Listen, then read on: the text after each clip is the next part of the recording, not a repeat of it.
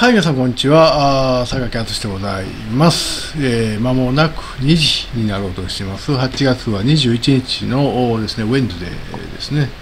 えー、っとですね、日経平均はあ165円安と、なんかようわからん動きをしてますね、今日はね。あまあまあ、動きなしと言っていいのかもしれませんね。えー、円はね、ドル円は145点、これいくつやろう。構成更新をしましてですねえ、っと145.72と、まあ、ちょっと戻しましたけど円高傾向ですね。はい、えー、ドルウォンでございましてうにゃうにゃに入りましたか。あ1334ですね。まあでもね1334でもまあウォン高ですよ、えー、頑張ってますよ。さて、そのウォンの国ですけどもですね、いや、まあね、あの小ネタですけどもですね、ハンギョレというですねメディアがございまして、これはまるっきりですね、えー、左、前の大統領のムン・ジェインなんかがですねこの創設にですね関与したなんて言われてる超左の共に民主党という今の野党よりのですね、えー、メディアなんですけど、そこに今日かな、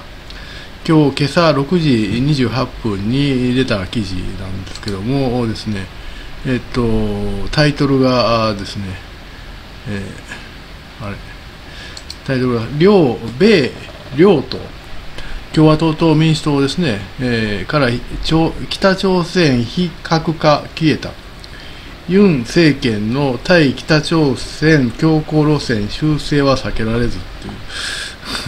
なんかわけわからんタイトルでしょ。えっとね、まあ、まあ、ちょっと続き続き読みましょうか。現実論のため、現実論のため、核軍縮など管理へと焦点移動したとの分析もと米民主党の政策考慮考慮改正案から北朝鮮の非核化目標が消えたと。うんえー、これは米民主党全国大会が公開したです、ね、政策考慮にそれがなかったというふうにして、まあ、ハンギョレが報道してるわけですね。で共和党の政策考慮でも北朝鮮の非核化というのがあ言及はないと。まあそうですね。あのねえっとありていに言ってしまうとアメリカにとって朝鮮半島なんかはっきり言ってどうでもいいんですよ。はっきり言ってどうでもいいんですよ。だって朝鮮半島をに何か影響力を及ぼしてアメリカにええことあります？何もないでしょ。朝鮮半島ほとんど資源ないですよ。でしかも南北ともに面倒くさい連中が住んでるわけですよ。なんかなかなかですねなかなか面倒くさい連中が南北とも住んでいてですね。でなぜアメリカは朝鮮半島に関わっているかというとそのあの理由は一つなんですよ。朝鮮戦争という戦争が1950年から53年にあってそれでですねあのアメリカは国連軍として韓国側を助けたんですね。だから今でも韓国にはですねアメリカ軍の基地があるんですね、まあ、それはま国連軍の基地という名目ですけどもですねアメリカ軍の基地がある。それだけなんですね。で1950年の6月25日だったかな。あの北朝鮮が韓国に攻め込んだんですよ。その時にアメリカは介入しようかどうか1日迷ったんですよ。迷ったんですよ。実はその前も前段もあってその当時アメリカはですねトルーマンというのが大統領だったんですね。でトルーマン大統領のですね国務長官はアチソンという人だったんですね。でどっかのアメリカの図書館かなんかの演説でアチソン演説アチソンラインっていうのを引いたんですよ。アメリカの防衛ラインはどうか。その1950年っていう年はどういう年かというとアメリカとソ連の冷戦が始まったぐらいの始まってしばらく経った年なんですね。始まって3年、4年ぐらい経ったぐらいの年が1950年なんですね。その時にアチソンという国務長官がですね、アチソンラインというのを引いて、防衛線は台湾と日本とアリューシャン列島やって言ったんで。そこは、その朝鮮半島その外側でしょ。そしたらアメリカは韓国、一旦を占領した38度線で南北分断した韓国は守らないと言ったら等しいんですよ。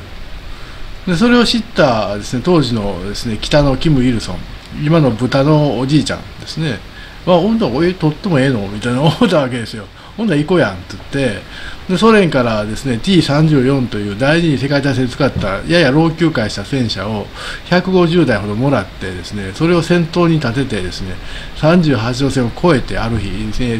えー、っと1950年の6月25日の未明にですね越えてですね38線を越えて、えー、攻め込んだわけですね。であのー38度線の南側は当時大韓民国と今の同じ国があってですね李承晩というやつが大統領だったんですけど、まあ、こいつはどうしようもないアホでですね。でアメリカ軍ももう面倒くさいからこいつら面倒くさいと思ったかどうかは知りませんよ。でももう韓国なんかどうでもええねんってこう撤退してたんですよ。なぜいてもしょうがないんですよ。韓国を占領したところでねアメリカにとって金かかるだけなんですよ。なんか美味しい美味しい何かがあるわけではないんですよあの面倒くさい人たちがいるだけなんですよでも大体引き上げてたんですね。で、えっと、1948年に大韓大韓民国とできて、リー・ショーバンといううるさいじじいがですね、仕切ってるんですけど、全然アメリカの言うこと聞かないわけですね。全然アメリカの言うことないで、まあ、面倒くさっていう感じでですね、アメリカはほとんど引き上げたんですよ。だって、いても、いてもしゃあないわけじゃなくて、金かかるだけでしょ。お前ら勝手にせえみたいな感じで引き上げてたんですね。で、そこへ、えー、キム・イルソンの軍隊が攻め込んだわけなんです。でトルマンが躊躇したわけですよえー、ってあそこに行ってもどうしようないやんとえー、めんどくさいやんイスンシンイスマンめんどくさいやんと思って躊躇したんですけどもやっぱしあかんとあの共産化されてしまうとアメリカの勢力が後退して世界に誤解を与えると。どんどんどんどん共産化されていくと。それはまずいでというようになってやっぱり介入しようとしたわけですね。それで国連決議を経てアメリカ軍が介入したんですけども結局53年に膠着して今のラインでですねあの休戦協定が結ばれた。でその後ですね、えー、北がどんどんおかしくなっていくわけですね。おかしくなって核兵器を作ったわけですでアメリカは核兵器やめろって言うて圧力をかけてるんですけど北は一向にやめる気配がないわけです。でアメリカにとっての関心事はその北の核兵器がアメリカを脅かすかどうかなんですよ。確かにね初期の原爆実験みたいなことはやってですね成功はしてるんですね核核実験に。しかし核兵器というのはですねいあ運搬手段が重要なんですよ。あの第二次世界大戦で広島と長崎に落とした時は B29 というバカでかい今で言えば旅客機ぐらいの戦闘機あ爆撃機があってえそこに積んで落としたんですね。あの時日本は制空権を持っていなかったんで B29 が飛んできてもそれを撃ち落とすことはできないわけであってもうやりたい方でやったわけですねあの時は。だからうまく運搬できたんです。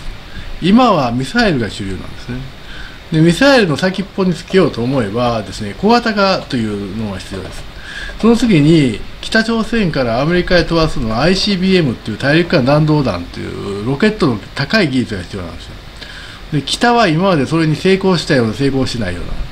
つまりですねアメリカのニューヨークの沖に落ち込んだわけではないんですね。ロフテッド軌道って言ってアメリカニューヨークの沖に落ち込もうと思うのビヨーっとこう飛ばさなあかんわけですけど北朝鮮の飛ばし方はロフテッドってビャーッと飛ばしてこう下ろしてこの距離がこの距離と一緒やでというふうにしかやっていないわけであって成功したとは言えませんで多分アメリカは北朝鮮がニューヨークの沖までニューヨークまで飛ばせるようなあるいはロサンゼルスまで飛ばせるような ICBM は持っていないというふうに思っているはずです。ただしですね、アメリカ政府の関係者は持ってる、あいつら持ってる、50発、60発持ってると言ってますよ。それはですね、防御予算を取らなければいけない。そういうのが飛んできたときに、それを迎撃するようなミサイルを用意しなければならないから、それには予算が必要でしょ。その予算を取るために、そういう北は持ってるという前提にしなければならないから言うてるだけであって、本来持っていないと思います。本来持っていないんであれば北がどうなろうが韓国がどうなろうが関係ないねはっきり言って そんなもんあの北のね核の核兵器が日本で使われようとアメリカは日本なんて究極なくなってもいいんですよちょっとちょっとちょっと不便かなっていうだけですよ日本がなくなっても。それだけなんですよ。だからそれところはもう朝鮮半島なんかどうでもいいんですよ。アメリカにとっては。だから本来どうでもいいはずなんですよ。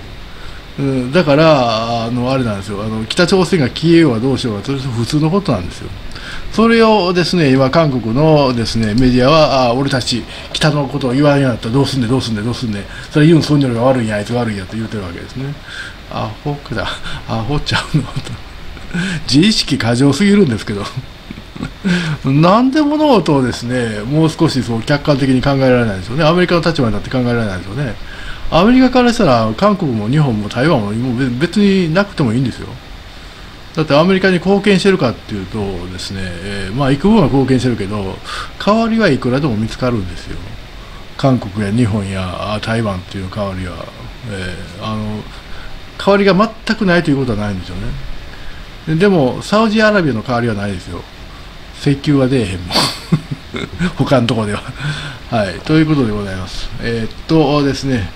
えー、ハンギョレですね、両米両党から朝鮮、北朝鮮非核化消えたという記事ですね。えー、当たり前や、そんな。もともと関係ないねもう。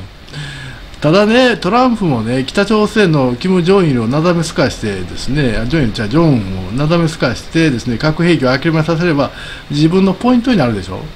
だからやってるだけなんですよ。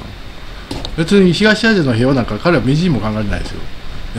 自分の政治活動のポイント、それだけ。はい。えー、ということで、このハンギョレのアドレスを貼っておきます。